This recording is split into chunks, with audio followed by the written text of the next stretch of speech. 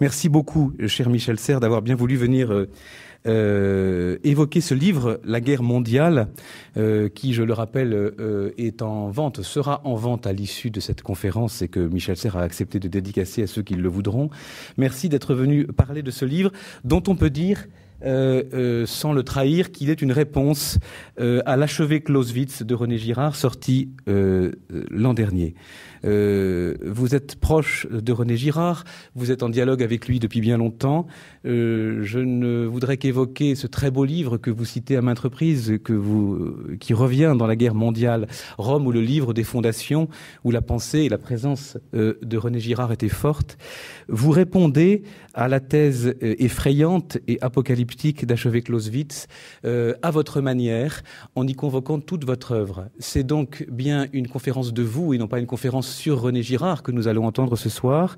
Euh, comment est-ce que vous, Michel Serres, fort d'une œuvre que je ne pourrais présenter ce soir tellement elle est vaste et immense, répondez à cette thèse de la montée aux extrêmes que Girard a dénichée dans la lecture euh, qu'il a faite précisément d'un général prussien, Karl von Clausewitz, comme l'un des euh, symptômes clés euh, d'un débordement de la violence que ne pouvait plus dorénavant contenir le droit.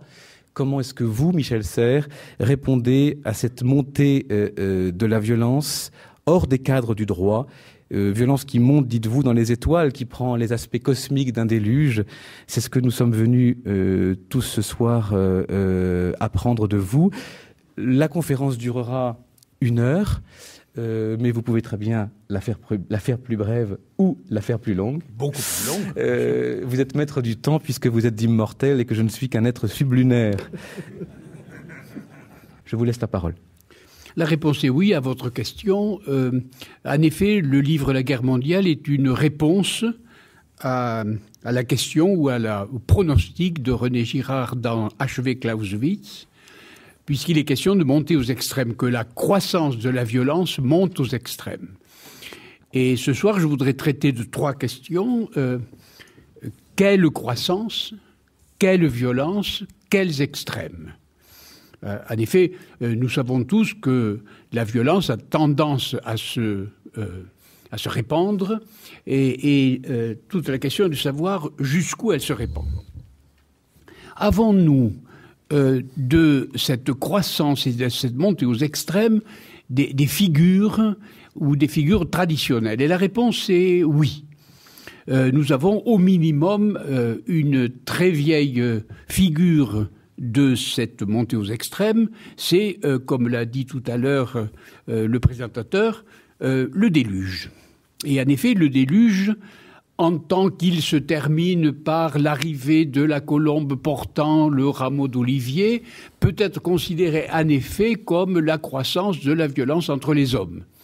On peut l'interpréter au moins de cette manière, il y a d'autres interprétations que peut-être je citerai, mais celle-là est majeure, c'est-à-dire la croissance de la violence fait que on arrive à, un certain niveau, niveau de crue, de croissance, de crue des eaux, et que cette crue se termine à un moment par l'arrivée de la colombe portant le rameau d'olivier. Et euh, ce déluge-là est en effet euh, euh, tel qu'il définit précisément les limites extrêmes. Et ces limites extrêmes sont simples à, concevoir. C'est que euh, la montée des eaux ou la montée de la violence euh, détruit tout sur son passage, détruit les hommes, sauf. Il y a un sauf, c'est-à-dire il y a ce qu'on appellera par la suite un reste. Le déluge laisse un reste. Noé, le patriarche, sa famille, et dans l'arche qu'il a construite, euh, sont réunis le couple de tous les êtres vivants, plantes ou animaux. Vous avez tous dans l'esprit ce texte majeur. Donc là, euh, il y a une montée, euh, il y a une croissance, il y a la définition d'une violence et on peut définir en effet les extrêmes, c'est-à-dire les limites. Et du coup, nous ne sommes plus les descendants directs d'Adam, nous sommes les descendants directs de Noé. Nous sommes les enfants de Noé beaucoup plus que les enfants d'Adam, car la plupart des enfants d'Adam sont morts au moment du déluge, sauf, sauf le reste. Et à partir du moment où arrive la colombe portant le rameau d'olivier, c'est-à-dire au moment de la paix, l'eau décroît. Alors, premièrement, il y a un reste, et deuxièmement, il y a une décrue. Question. Y a-t-il une autre figure où il n'y a pas de reste, où il n'y a pas de décrue, où il n'y a pas de limite? C'est-à-dire, ça va aux extrêmes, c'est-à-dire à, l'infini. Et la réponse est oui. Et je crois, quant à moi, qu'il y a que, le déluge de Noé, tel qu'il est décrit dans le texte de la Genèse, n'est que la seconde inondation. Il y en a une première. Et il y en a une première bien antérieure à l'âge du déluge, c'est le moment où il est écrit L'Esprit de Dieu flottait sur les eaux. L'Esprit de Dieu flottait sur les eaux, voilà des eaux inattendues, et euh, rien ne flotte sur les eaux. Dans le second déluge, l'arche de Noé flotte sur les eaux. Le reste des humains et le reste des vivants flottent sur les eaux. Dans le premier cas, l'Esprit de Dieu flotte sur les eaux. Et par conséquent, il me semble qu'il y a eu, avant la croissance limitée de violence, une première croissance illimitée de violence où tout a disparu. Il n'y a plus euh, de reste, il n'y a plus d'humains, il n'y a plus de vivants, il n'y a plus de couples sauvés, il n'y a pas d'arche, et du coup il n'y a pas de décrue. Alors il y a bien deux déluges, c'est-à-dire deux figures de la croissance de la violence, une figure avec définition des limites extrêmes et décrues, et l'autre euh, sans reste, sans limite, sans décrue. Il a fallu huit jours de création divine pour restituer des êtres vivants et des êtres tout court après une pareille catastrophe la création divine est postérieure à une crise abominable où tout a disparu. Non pas un déluge, mais deux déluges, un qui est avec reste, avec définition des extrêmes, et l'autre sans reste, c'est-à-dire sans décrue.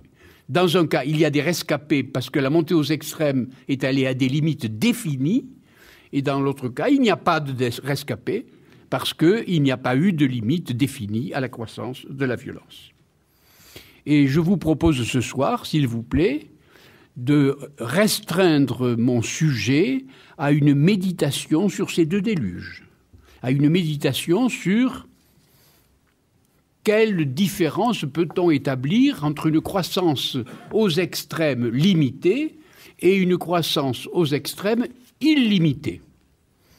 Euh, il est probable que la croissance aux extrêmes illimitée donnera en tout cas les résultats du premier cas, c'est-à-dire qu'il n'y a pas de rescapé, il n'y a pas de décrue, il n'y a pas de limite, et tout a disparu. Voilà la figure, euh, disons, emblématique, historique, théologique même, euh, transhistorique de la croissance aux extrêmes dont Gérard parle à propos de Clausewitz. Alors mon livre commence non pas par une description de cette figure emblématique ou transhistorique, mais par une expérience toute simple que vous et moi avons pu avoir chacun dans notre vie sur la croissance de la violence. Et je m'amuse à raconter tout simplement parce que euh, c'est une souvenir personnel, tout simplement, une bagarre dans un bistrot matelot, dans un port quelconque, euh, imaginez Valparaiso, Sydney, Hambourg euh, ou Bordeaux. Et voilà euh, le bistrot plein de matelots. Un porte-avions soviétique, ex-soviétique, vient de faire escale dans une darse et a laissé les matelots tirer leur bordée dans le bistrot. Et un sous-marin britannique de l'autre côté de la darse a mis des haussières à fixe, poste fixe et les matelots tirent leur bordée dans le même bistrot à matelots. voilà donc les Russes mêlés aux Britanniques euh, les uns sirotant leur vodka, les autres sirotant leur sixième ou septième verre de bière. Et ce qui devait arriver arriva sans qu'il y ait vraiment eu de premier euh, responsable. Un a peut-être poussé l'autre, il a peut-être caressé un peu les poils du bonnet. Bon, euh, bref, l'un roule dans la poussière simplement pour avoir été poussé par son voisin, Euh, mais bien entendu, si c'est un Britannique qui roule dans la poussière, euh, poussé par un Russe, il est bien évident que trois Britanniques vont porter secours à ce matelot collègue qu'ils ont vu euh, renversé par ce, ce, Russe maudit et se précipite sur le Russe, ce que voyant, trois matelots russes, voyant que trois matelots britanniques attaquent euh, leurs camarades, se précipitent à la rescousse de ce camarade, ce que voyant six matelots britanniques euh, se, viennent à la rescousse, enfin vous comprenez ce qui se passe, au bout d'un certain temps, comme disent les journaux, euh, la bagarre remplit absolument la totalité du bistrot, ce que voyant, le bistroquet appelle la police portuaire qui arrive pimpon, pimpon, et qu'offre tout le monde, Neptune ni reconnaîtra les siens. Euh, cette, euh, cette, petite histoire, vous avez pu sans doute la voir se réaliser dans la rue, dans un lieu quelconque, c'est une expérience ordinaire. J'étais là. Euh, même si c'est imaginaire, vous pouvez me croire, j'étais là. Et comme j'étais là, probablement issu aussi de quelques escorteurs d'escadre du programme, euh, il se trouve que moins sous euh, que mes camarades russes et, britanniques, j'avais avec moi une petite caméra. Et ayant une petite caméra, je me suis empressé de filmer cet événement historique, n'est-ce pas? Cet événement formidable, je l'ai filmé. Et si vous voulez, je vous demande maintenant euh, de la regarder projetée sur l'écran qui est derrière moi. Je vais la projeter sur l'écran derrière moi. Et la projetant sur l'écran derrière moi, il se trouve que je suis maladroit, très maladroit de mes mains, et qu'au moment euh, de la euh, projeter, euh, je, me trompe dans, dans, le dispositif, et, et tout d'un coup, ce que vous voyez derrière moi sur l'écran est projeté à l'envers. À l'envers.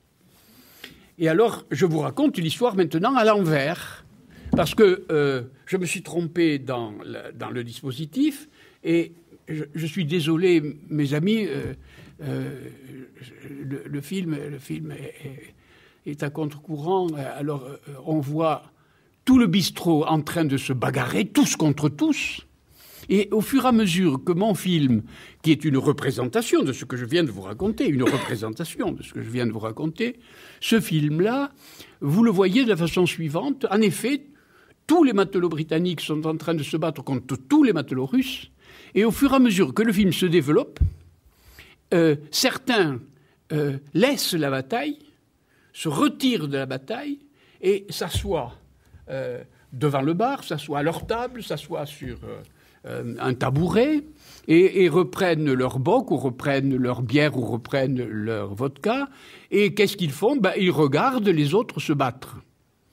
Et à mesure que euh, le film se développe, de plus en plus de gens euh, quittent la bagarre et se mettent à, s'asseoir et, regardent. Attendons, qu'est-ce qu'ils font? Voyons. Euh, ce que je vous propose de regarder dans l'écran derrière moi, c'est une représentation de ce qui vient de se passer. Le film est une représentation. Bon.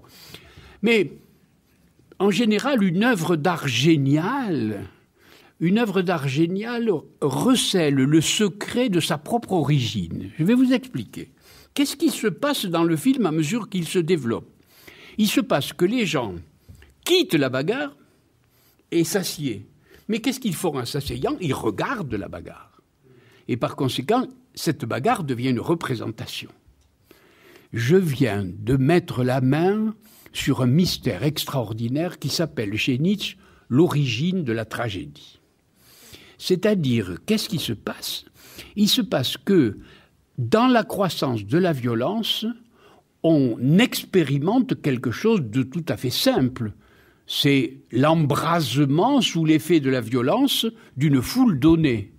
Mais si on la filme à l'envers, on s'aperçoit que cette violence ne devient pas accumulative, elle, elle, n'accrète pas, elle, n'attire pas, au contraire, elle devient une sorte de représentation pour ceux qui la quittent.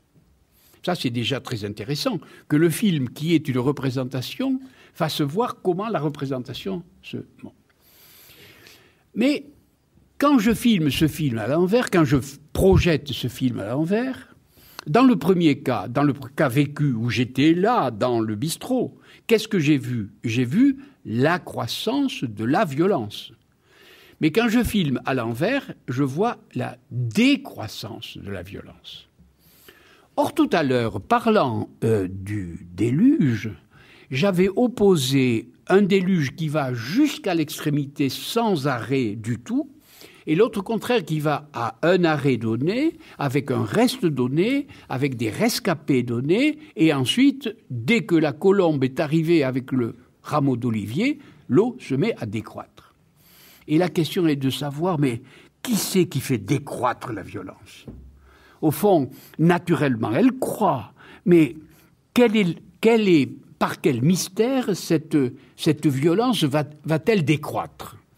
Or, quand je fais voir mon film à l'envers, je la vois décroître. Et je vois très bien les gens quitter la bagarre au fur et à mesure et devenir les spectateurs de la bagarre qui reste. Mais la question revient, mais qui fait décroître cette violence-là? Au fond, euh, la question est de savoir, mais qui est la colombe? Qui, est le rameau d'olivier? Euh, par, quel, miracle euh, extraordinairement rare la violence peut-elle décroître? Arriver à, un extrême, à une limite, et ensuite décroître. Et c'est la question sur laquelle je vous demande maintenant de, méditer. Euh, à l'extrême fin de mon film, où euh, tous les matelots se battent, puis 20 matelots se battent, puis 10 matelots se battent, et à mesure que je vous fais voir le film projeté à l'envers, euh, prenant conscience que je découvre dans ce film un secret que je ne connaissais pas, je ralentis, je ralentis à mesure que j'arrive vers la fin. Et en ralentissant, je vois trois Russes se battre contre trois Britanniques, puis deux Russes se battre contre deux Britanniques, puis un Russe se battre contre un Britannique, puis un seul Russe rester debout. Vous avez tous reconnu une histoire parfaitement reconnaissable. Je recommence. Trois contre trois, deux contre deux, un contre un, il en reste un. C'est l'histoire d'Horace et d'Écurias. Merci beaucoup, vous l'avez deviné.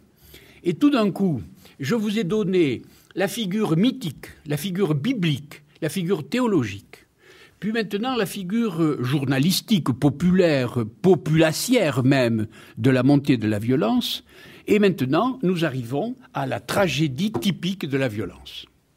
La tragédie typique de la montée de la violence, c'est euh, l'Horace de Corneille. Je vais vous raconter l'histoire de Corneille. Je vous ai raconté trois histoires, une majeure, le déluge, une mineure, euh, la bagarre dans le bistrot matelot, et maintenant une, disons, culturelle, la tragédie de Corneille. Que se passe-t-il dans la tragédie de Corneille? Cette tragédie, écrite par Pierre Corneille au XVIIe siècle, est inspiré d'une histoire très très connue et très classique qui se retrouve dans l'histoire romaine de Tite-Live, que certains d'entre vous peut-être ont lu, et où Tite-Live raconte que dès l'origine de Rome, pas loin de la fondation, euh, une petite ville voisine, un village voisin, Rome était alors un village, et le voisin s'appelait Albe, et voilà qu'Albe euh, est en guerre contre Rome. Attention, euh, euh, aucune institution n'est encore constituée. Albe se bat contre Rome. Qu'est-ce que ça veut dire? Ça veut dire que toute la population de Rome se bat contre toute la population d'Albe. Et les philosophes, euh, sur ce point, euh, ont utilisé depuis toujours une expression que je répète ici ce soir, qui est la guerre de tous contre tous. C'est la bataille de tous les Romains contre tous les Albins, la guerre de tous contre tous. Et la plupart des philosophes du droit, nous voici justement dans les questions de droit, disent qu'il euh, a fallu à un moment arrêter la guerre de tous contre tous. Mais les philosophes comme Hobbes et les philosophes comme Rousseau sont très économes d'explications sur la manière dont la guerre de tous contre tous euh, se, termine. C'est-à-dire très économes d'explications sur la manière dont le déluge a une limite, dont la croissance a une limite, dont les extrêmes sont définis. La guerre de tous contre tous devrait se terminer comment? Ah mais nous le savons comment elle se termine Allez, je vais raconter encore une histoire. C'est euh, le, roman policier d'Agatha Christie qui s'appelle Les Dix Petits. Euh, en effet, voilà une île qui est bien fermée. Euh, il y a un orage épouvantable qui empêche quiconque d'y accéder. Il y a dans cette île dix personnes. Ils se mettent à se bagarrer tous contre tous. Et quand enfin l'orage se termine, quand enfin on peut accéder à l'île, qu'est-ce qu'on trouve dans l'île Plus personne c'est-à-dire c'est la première figure du déluge. C'est-à-dire les dix petits nègres sont morts tous. C'est-à-dire la guerre tous contre tous se termine par l'éradication complète euh, des, des, gens présents. Alors, je recommence, la guerre d'Albe contre Rome, c'est la guerre de tous contre tous. Si ça avait été vraiment la croissance de la violence telle que nous l'avons définie, comme les dix petits nègres ou le premier cas du déluge, il n'y aurait plus aujourd'hui ni Romains ni Albins. Et par conséquent, la population de Rome euh, n'existerait plus. Mais que s'est-il passé? Il s'est passé un événement très étrange, qui est probablement un événement décisif pour l'espèce Homo sapiens, c'est que quelqu'un, mais justement qui? C'est ça la question, quelqu'un euh, de Rome va rendre visite à quelqu'un, mais qui, nous ne le savons pas, à quelqu'un d'Albe et lui dit vraiment c'est pas raisonnable de se battre tous contre tous. On pourrait par exemple euh, enlever euh, de la bataille euh, les femmes enceintes, les enfants de moins de 9 ans, les vieillards de mon âge, on pourrait enlever de là les femmes qui allaitent, on pourrait enlever de là, etc., etc. Alors, on, on commence à procéder à une soustraction. Et procédant à cette soustraction, nous avons découvert ce que signifie la décrue, la décrue du second déluge. Et euh, arrivant à se dire on va éliminer les vieillards, les enfants, les femmes, etc., euh, ils finissent par se dire au fond se battront les uns contre les autres euh, les mâles entre 20 et 40 ans. Et décidant ceci, c'est-à-dire procédant à cette soustraction, c'est-à-dire à cette décrue, qu'ont-ils inventé? Qu'ont-ils inventé là Et que Tite-Livre ne dit pas comment ils ont fait, et que Corneille ne dit pas du tout comment ils ont fait. Mais ils ont inventé l'armée. Qu'est-ce que l'armée? C'est précisément ceux qui, entre 20 et 40 ans, sont susceptibles d'aller au combat et de se battre. À l'exclusion des femmes, des enfants, je le répète, des vieillards et des euh, bébés à la mamelle. Et par conséquent, il y a désormais un reste. Nous y sommes. C'est le reste que j'avais défini dans la première figure du déluge. Mais comment suis-je arrivé à cette conclusion? Car c'est moi qui invente cette affaire. Elle n'est pas dans Tite-Live, elle n'est pas dans Corneille. Mais comment j'ai pu inventer cette affaire? Oh, c'est très simple. C'est que Tite-Live, comme inspirateur, et Corneille, qui le répète dans sa tragédie, raconte une autre histoire. Pas celle que je viens de raconter, mais une autre. Il raconte quelle histoire?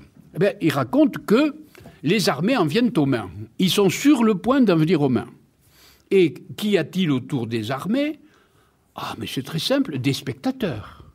Mais les spectateurs de cette bataille, qui sont-ils? Oh ben On peut le dire, les femmes, les vieillards, les enfants, c'est-à-dire le reste.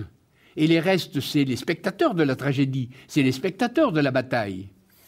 Mais au moment où euh, les euh, adultes mâles de 20 à 40 ans, c'est-à-dire l'armée, euh, sont sur le point d'en venir aux mains, le dictateur d'Albe et le roi de Rome disent Oh, c'est quand même dommage de faire s'entretuer euh, ces jeunes gens qui sont bons pour la reproduction, euh, bons pour euh, le travail au champ, qui sont bons comme forgerons, qui sont bons pour construire les murailles de Rome et, les maisons. Et, si on enlevait les maçons, et si on enlevait les forgerons, si on enlevait les agriculteurs, on va en enlever beaucoup.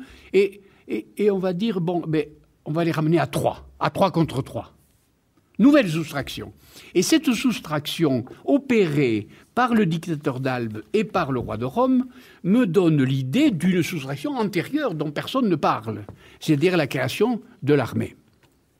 Et vous voyez là la décrue se produire, Et je retrouve là la bataille que vous connaissez tous pour avoir lu la tragédie euh, de Corneille, où trois se précipitent contre trois, et il y en a trois, puis ensuite il y en a deux, puis ensuite il y a un, puis ensuite il y a un vainqueur qui est Horace, et les autres sont morts. C'est-à-dire la totalité de la, euh, de la violence, c'est-à-dire le passage de la guerre de tous contre tous, qui arriverait aux extrêmes, sans extrêmes, c'est-à-dire aux dix petits nègres, il n'y aurait plus de Romains, il n'y aurait plus d'Albins, par une sorte de succession de soustraction, c'est-à-dire de décrue de la violence, en arrive simplement à la bataille de trois contre trois.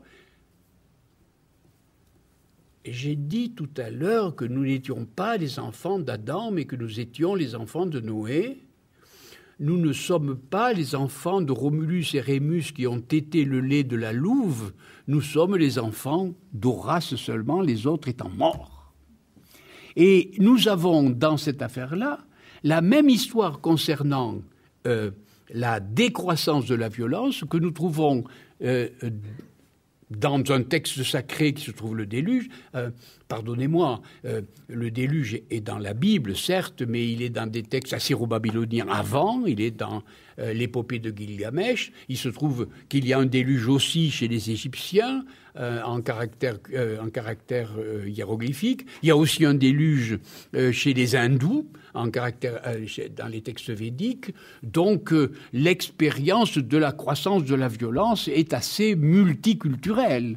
C'est-à-dire, nous avons plus, à peu près toutes les cultures ont un déluge, c'est-à-dire ont sur la croissance de la violence et sur la décroissance. Or, dans la tragédie de Corneille, ce qui est intéressant, et même dans Tite-Livre, dans le récit historique aussi bien que dans la tragédie, euh, on répond à la question, parce que je n'ai pas répondu à une question terrible, c'est mais qui fait décroître? Qui fait décroître? Et la réponse n'est pas connue. Elle n'est pas connue. Elle, est divine dans la Bible. Elle n'est pas.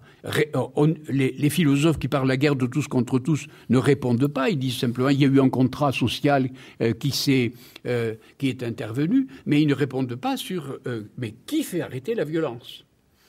Mais nous le connaissons, celui qui fait arrêter la violence. Nous le connaissons très bien. Nous qui avons joué au football, qui avons joué au rugby, euh, euh, dans des déploiements de violence réglés, c'est l'arbitre. C'est l'arbitre qui siffle et qui arrête la violence. Il y a donc un arbitre quelque part. Il y a donc un arbitre. Et dans la décroissance que je vous raconte dans le cas de Tite-Live euh, ou d'Horace ou de Pierre Corneille dans la tragédie d'Horace, c'est le roi, c'est le dictateur. Donc il y a un arbitre qui a décidé de ça. Je m'arrête. Euh, pourquoi je parle de l'arbitre?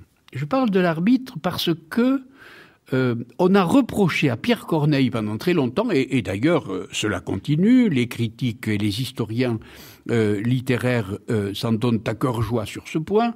Ils disent que Horace est une bonne tragédie, c'est très bien, mais qu'elle est très ennuyeuse à la fin parce que l'acte 5 euh, est euh, euh, simplement une succession de plaidoiries devant un jury qui va décider si Horace est coupable ou non, alors qu'il est un héros national d'avoir tué sa sœur.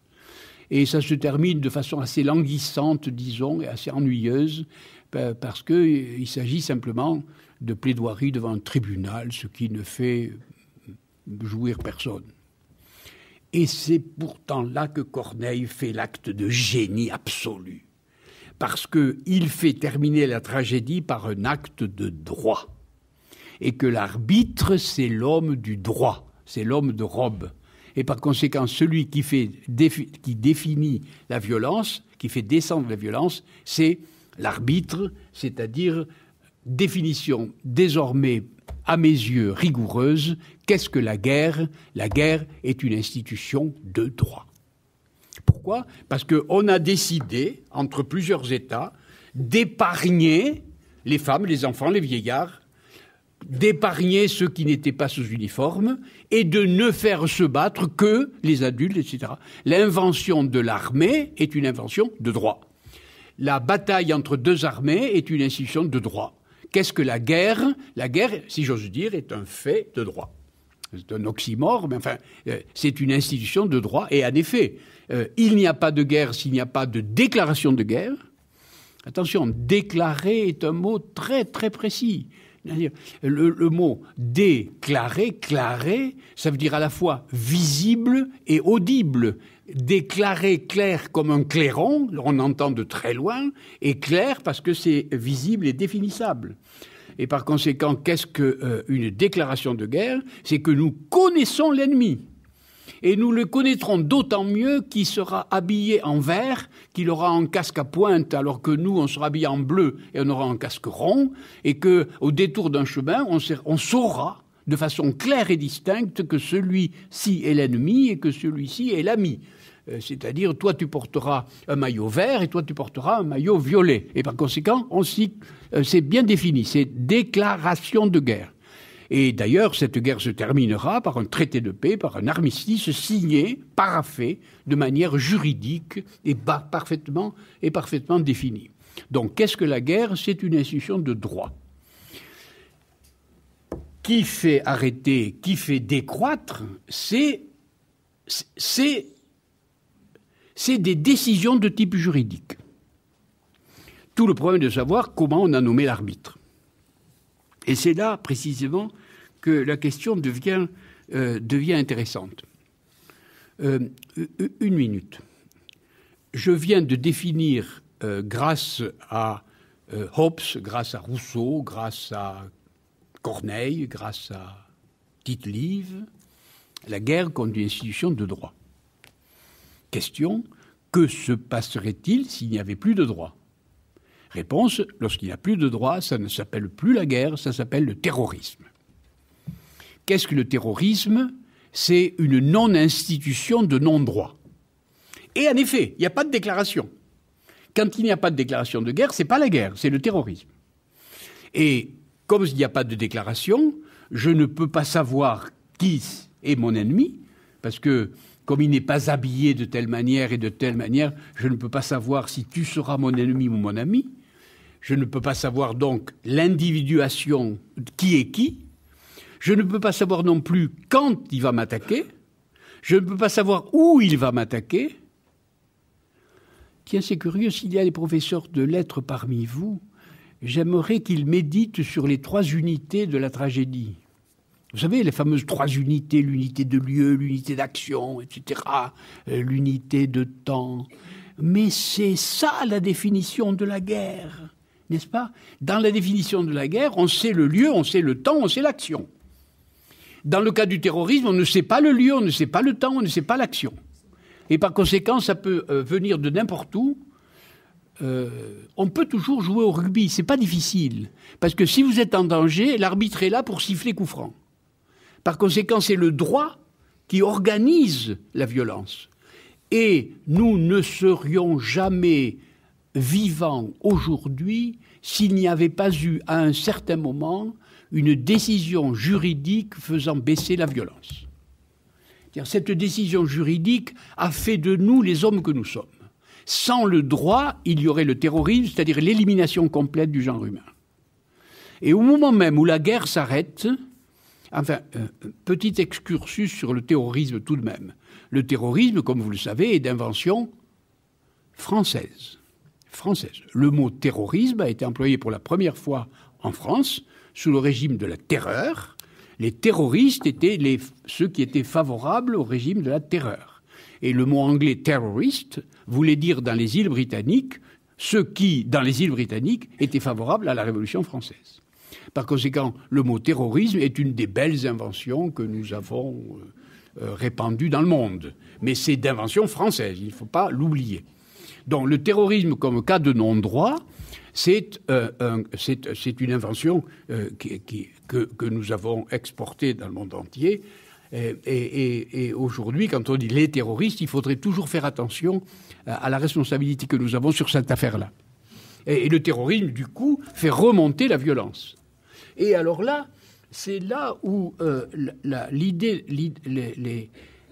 les, affirmations de Clausewitz et, les commentaires de René sont intéressants, parce qu'en effet, dès lors qu'il y a une reprise de la croissance, c'est-à-dire la croissance du nombre des morts, de la croissance des, des, euh, engagés dans la guerre, euh, alors là, le terrorisme revient et la guerre s'arrête. Une, une des, clauses fondamentales du droit des gens qui règlent la guerre était jadis que les, les, civils qui ne portaient pas l'uniforme étaient épargnés par la violence. Or, dans les guerres qui nous ont précédés, on n'épargnait pas des civils. On a tué des dizaines, des centaines de milliers de civils sous les bombardements, etc. Donc, nos guerres précédentes étaient des guerres, mais ils frisaient beaucoup le terrorisme et la, et la gloire de Napoléon euh, que nous portons au nu dans les classes euh, consiste simplement dans le fait qu'à un certain moment, il n'y avait plus une armée de métier, mais qu'il y avait la conscription de masse. Et que la conscription de masse a été la montée de la violence, évidemment. Et s'il a gagné des guerres, tout simplement, c'est qu'il pouvait consommer de la chair autant qu'il en voulait, puisqu'il y avait euh, la conscription. Je, voudrais donner, rien que pour le plaisir personnel, une autre définition de la guerre, s'il vous plaît. Euh, je, euh, lorsque j'étais petit, je savais par cœur Horace, parce que, enfant de la guerre, vous pensez bien qu'Horace était pour nous quelque chose de très important. Et je voudrais vous raconter une histoire à cet égard. Euh, j'ai été un des rares euh, qui a pris le premier avion pour les États-Unis après le 11 septembre nous n'étions pas très nombreux dans l'avion. Euh, euh, euh, nous n'emmenions pas large. Les, hôtesses de l'air non plus. Distribuaient des, fourchettes en carton à cette époque-là. bon. Et, lorsque je suis arrivé à San Francisco, euh, où j'ai beaucoup d'amis dans la Silicon Valley, euh, une femme très intelligente avait eu l'idée de convoquer à dîner euh, des Israéliens, des, Arabes, des, Iraniens, des ingénieurs, tous de la Silicon Valley, pour discuter des événements. Et à un moment, pendant le dîner, j'étais présent au dîner, les, les, gens se sont étonnés que les terroristes aient assez de courage pour faire la queue euh, pour être des kamikazes, vous savez, pour donner leur propre vie. Et au, moment où tout le monde s'étonnait de, de, de, cet héroïsme absurde, n'est-ce pas euh, euh, je, me suis levé et, j'ai récité « Mourir pour sa patrie est un si digne sort qu'on briguerait en foule une si belle mort ». Et, et, tous les gens sont retournés vers moi et m'ont dit « Mais qui c'est qui a dit ces absurdités ben, je dis, c'est Pierre Corneille. C'est-à-dire, tout d'un coup, je me suis aperçu quel est abominable nous sucions depuis notre, notre âge adolescent. Mourir pour sa partie. Qu'on briguerait en foule une si belle mort, comme s'il y avait de belles morts. je vais vous en raconter une seconde belle mort terrifiante.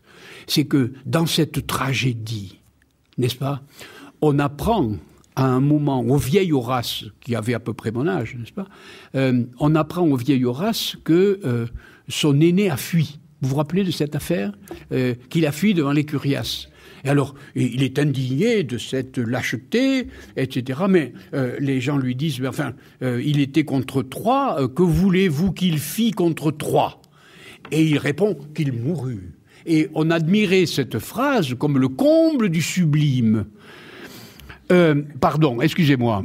Euh, euh, j'ai envie vraiment maintenant de définir la guerre autrement de ce que j'ai fait jusqu'à maintenant. Le qu'il mourut du vieil Horace est un aveu parmi les aveux les plus abominables de l'histoire. Parce que, au fond, qu'est-ce que c'est que la guerre? Essayons d'y réfléchir un peu. Euh, voyons, euh, euh, nous avons défini tout à l'heure la guerre comme une soustraction de victimes. Mais cette soustraction, elle amène au feu qui? Ben, Des jeunes gens de 20 à 30 ans, n'est-ce pas? Mais qui le décide, cette soustraction? L'arbitre. Mais qui c'est l'arbitre? C'est le roi. Quel âge il a, le roi? Hein? Il a l'âge du vieil Horace, n'est-ce pas? Hein? Et par conséquent, qu'est-ce que c'est que la guerre? C'est un accord contractuel entre deux vieillards cruels et abominables qui, d'un côté et de l'autre du Rhin, ont décidé de tuer leur propre fils. Qu'est-ce que la guerre? C'est le meurtre des enfants. Et ce qui me paraît les plus curieux, pardon à tous les psys qui sont dans la salle, c'est que euh, on, a défini euh, dans les amphithéâtres depuis déjà des dizaines d'années le meurtre du père alors que nous sortions de guerres comme celle de 14 et de celle de 39, où il y a eu des centaines de millions de morts qui étaient tous des fils. C'est étrange, n'est-ce pas? Euh, Qu'on enseigne dans des amphithéâtres exactement le contraire de ce qu'on voit dans les champs d'épandage et les grands cimetières sous la lune. Qu'est-ce que la guerre? C'est le meurtre des fils par centaines de millions. Je ne crois plus au meurtre du père. Euh, il faut que je sorte de qu'il mourut pour revenir à mon, à, sujet. Euh, euh, comment désigne-t-on l'arbitre? Comment désigne-t-on le roi? Et c'est là que je rejoins, pour finir, René Girard. Vous allez voir. C'est qu'à un certain moment, au moment précisément où les armées vont se battre les unes contre les autres, Albe le euh, peuple d'Albe, se révolte euh, en partie. Il dit c'est abominable ce qu'on voit. On voit se battre des jeunes gens euh, beaux et capables de travailler. Et, tout d'un coup, il se retourne vers le roi et le dictateur, et on sent la violence populaire monter. Et au moment où la violence populaire monte, à ce moment-là, le roi, voyant qu'il est prêt à être lynché, dit on va demander aux dieux quelles sont leurs décisions. Et on voit très bien comment là, euh, le religieux euh, est là pour désigner le roi, l'arbitre, le dictateur. Lynché. Or donc, la bataille est terminée. Or donc, Horace a tué les Curias. Et donc, Rome est victorieuse. Horace, vainqueur, devient le héros national. La bataille a eu lieu à l'extérieur des murailles de Rome. Horace, plein de gloire et ivre de fureur, rentre chez lui et rencontre sa sœur, Camille. Tu te rappelles, ma sœur, tu jouais Camille quand je jouais Horace, n'est-ce pas? Euh, C'est un aparté familial. Euh, il rencontre Camille, et Camille était fiancée au Curias. Et Camille entonne un texte admirable, qu'on appelle les imprécations. Les imprécations de Camille. Rome, l'unique objet de mon ressentiment. Rome, à qui vient son bras d'immoler mon amant. Rome, qui t'a vu naître et que ton cœur adore. Rome, enfin, que je hais parce qu'elle t'honore, puissent tous ses voisins ensemble conjuguer, saper ses fondements encore mal assurés. Et si ce n'est assez de toute l'Italie, que l'Orient contre elle à l'Occident s'allie, que cent peuples unis des bords de l'univers passent pour la détruire et les monts et les mers. Vous rappelez Le lynchage absolu de Rome. C'est-à-dire, tous les peuples de l'Italie, tous les peuples du monde passent les mers pour venir la tuer. Le lynchage absolu, n'est-ce pas? C'est le moment euh, girardien euh, de Rome. Et et bien sûr, à cause de cela, Horace va tuer euh, Camille. Mais c'est pas ça qui m'intéresse. Ce qui m'intéresse, c'est un moment des imprécations que je n'ai pas récité. Parce que ces imprécations se terminent de la façon suivante. Que le courroux du ciel allumé par mes voeux fasse pleuvoir sur elle un déluge de feu. Le voilà le déluge. Attention, jusqu'au moment où ces vers sont récités, il ne s'agit que d'un lynchage. On est dans le cadre de la théorie de René Girard. C'est-à-dire, 100 peuples de l'univers sont là pour se mettre autour et pour euh, mettre à mort Rome. Euh, et c'est l'histoire que raconte Camille. Mais pour finir, elle ne parle plus du tout des ennemis, elle ne parle plus des alliés, elle ne parle plus des peuples, elle ne parle plus de ceux qui vont entourer Rome pour le lyncher, non, elle veut dire que le courroux du ciel allumé par mes voeux fasse pleuvoir sur elle un déluge de feu. Il ne s'agit plus des hommes, il s'agit du monde. Et c'est le sujet de mon livre. Il ne s'agit plus des hommes qui vont entourer Rome pour la lyncher, il s'agit d'un déluge de feu. Et à ce moment-là, tout change. La guerre est une institution de droit, le terrorisme est une institution de non-droit, dans le cas où nous faisons la guerre les uns contre les autres, les hommes contre les hommes, Rome contre Albe, les armées contre une armée, la guerre ordinaire, la guerre au sens de Girard, la guerre au sens de Clausewitz, la guerre au sens de René, la guerre au sens de Rousseau, de Hobbes, tout ce que vous voudrez. C'est la violence. La violence des déluges dont je parlais jusqu'à maintenant. Nous n'en sommes plus là, mes amis. Aujourd'hui, le courroux du ciel allumé par nos feux font pleuvoir sur nous un déluge de feu. N'est-ce pas? Jusqu'à maintenant, toutes les théories qui ont été émises et que je viens de commenter se réduisent à ce que j'appelle un jeu à deux. C'est Rome contre Albe, c'est Horace contre les Curias, c'est la guerre ordinaire, euh, tel pays contre tel autre pays, tel euh, groupe humain contre tel autre humain, etc. Depuis quelque temps, nous ne jouerons plus à deux depuis quelque temps, nous jouons à trois. Et je voudrais définir devant vous un nouveau jeu à trois. Les jeux à deux, j'ai parlé du rugby, du football, j'ai parlé de la guerre de Rome et d'Albe, j'ai parlé de groupes humains contre d'autres groupes humains. Mais euh, Hegel, par exemple, dit la lutte du maître contre l'esclave. Le maître contre l'esclave. C'est un jeu à deux. Mais si vous regardez la phénoménologie de l'esprit, où Hegel parle de ça, il ne dit pas où ça a lieu. Il ne dit pas quand ça a lieu. Pas d'unité de temps, pas d'unité d'action, pas non, il ne dit pas où c'est. Mais Goya, le peintre espagnol, le dit où c'est. Il y a une toile de Goya extraordinaire où deux hommes, à demi nus, se battent à coups de gourdin l'un contre l'autre. Et euh, au lieu de Hegel qui ne dit pas où ça se passe, lui Goya fait voir où ça se passe. Ça se passe dans des sables mouvants. Et à chaque fois que l'un donne un coup à l'autre, il s'enfonce dans le sable. Et celui qui reçoit le coup s'enfonce encore plus dans le sable. Et on dit qui va gagner hein? Qui va gagner? Hein? Horace, Curias, qui va gagner? Rome, Albe, qui va gagner? Euh, euh, Le maître, l'esclave? Non, aucun. C'est le monde qui va gagner. C'est la terre qui va gagner. Et là, Goya m'a donné le sujet de mon livre. La guerre mondiale, dans mon livre, ne veut pas dire du tout la guerre de 14 ni la guerre de 39. Ça m'est égal. Les jeux à deux sont finis. Les jeux à deux sont terminés. Désormais, nous jouons à trois. Il y a l'adversaire, l'adversaire et le monde. Et le monde. C'est-à-dire les sables mouvants de Goya. Et par conséquent, qu'est-ce que la guerre mondiale? C'est la guerre que depuis notre naissance nous menons contre le monde la guerre contre le monde. Et le sujet de mon livre, c'est la guerre contre le monde. Le sujet de mon livre, c'est de dire est-ce que c'est une guerre? Non, ce n'est pas une guerre. Parce qu'il y a 20 ans, j'ai essayé d'écrire un contrat naturel euh, qui a été la risée de tous les philosophes et qui essayait de mettre du droit dans la guerre que nous menions contre le monde.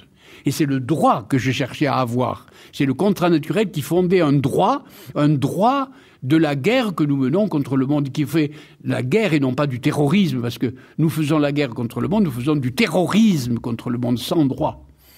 Et donc, depuis très longtemps, je réfléchissais à la manière d'ajouter des euh, régimes juridiques à cette guerre contre le monde. Et, là, je me sépare de René, forcément, parce que là, euh, tous les philosophes autour de moi ne parlent que des jeux à deux, c'est-à-dire les hommes les uns contre les autres. Moi, je parle d'un jeu à trois, c'est-à-dire la guerre mondiale, c'est la guerre contre le monde. Et maintenant, je reviens à mes matelots, s'il vous plaît, pour finir. S'il est vrai que nous menons la guerre contre le monde, nous savons aujourd'hui de façon tout à fait claire qui est l'adversaire, qui est celui contre lequel on se bat. Oh, pour une bonne raison, c'est que nous l'avons vu. C'est que nous l'avons vu. Que le monde, nous l'avons vu. Et nous l'avons vu depuis que les cosmonautes, il y a une quinzaine d'années, ont photographié du haut de leur habitacle euh, la fameuse planète bleue. Et euh, désormais, euh, les, marins britanniques, c'est pas ceux du euh, sous-marin. Les marins russes, c'est pas ceux du porte-avions. Non, non, non, non. Nous sommes tous les matelots de ce vaisseau-là, n'est-ce pas? Nous sommes tous les matelots de cette planète-là. Et maintenant, nous savons que nous faisons partie du même équipage et que nous avons beau nous battre entre nous, nous faisons partie de l'équipage qui est de cette de ce vaisseau-là. Et euh, mon histoire est la suivante et j'aimerais que vous en souveniez, que font les matelots lorsque il y a une voie d'eau à l'avant du bateau? Vous pensez que les matelots de bâbord vont se battre contre les matelots de tribord? Vous pensez que les matelots des machines vont se battre contre les matelots de la passerelle au moment où il y a une voie d'eau? Je ne crois pas. Je crois qu'au moment où ils ont conscience qu'il y a une voie d'eau, ils se précipitent tous sur la voie d'eau pour réparer la voie d'eau. Autrement, c'est le naufrage. Et c'est ainsi que mon livre, qui est très sérieux et très euh, dramatique, puisqu'il ne parle que de tragédie, devient tout d'un coup une utopie. Une utopie absolue. J'ai écrit, mesdames et messieurs, une utopie, la seule aujourd'hui peut-être qui vaille, et qui consiste à dire Pensez-vous que la guerre perpétuelle que nous menons les uns contre les autres, c'est-à-dire la guerre de tous contre tous, ne va pas s'arrêter à un moment, dès lors qu'on prend conscience qu'il ne s'agit plus d'un jeu à deux, mais d'un jeu à trois, que nous menons une guerre contre le monde, et que si le monde est en mauvais état, et s'il fait naufrage, alors peut-être nous pourrions arrêter les guerres à deux, c'est-à-dire les jeux à deux, les guerres de tous contre tous, euh, pour réparer euh, la voie d'eau en question. Et là, je me sépare complètement, en effet, de la question euh, qui est généralement posée euh, par les philosophes, qui euh, pensent toujours à, l'affrontement entre les hommes comme si nous n'habitions pas le monde. J'imagine le plus souvent que les batailles que qui vous intéresse, l'actualité, etc., ça ne concerne jamais que les rapports entre les hommes, les rapports violents entre les hommes. Non. Je crois que ces rapports-là n'ont plus d'intérêt aujourd'hui au regard de l'importance extrême qu'a pris aujourd'hui la guerre mondiale au sens que je donne à ce mot dans le livre. Merci beaucoup.